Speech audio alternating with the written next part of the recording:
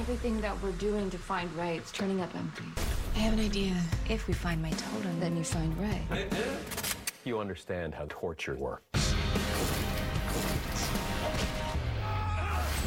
We're gonna get Ray back. DC's Legends of Tomorrow. All new episode next Monday at 8, 7 central on the CW.